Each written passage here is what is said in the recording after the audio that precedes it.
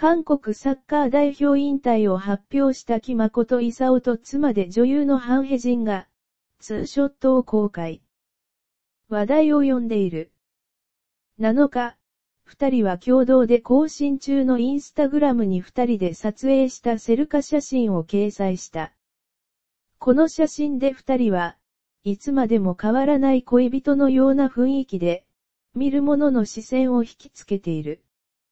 また、写真はハートマークいっぱいにデコレーションされ、愛情を示した。一方、木誠勲とハンヘジンは約6ヶ月の交際を実らせて去る2013年7月に結婚。2年後の2015年9月、第一子となる長女を設けた。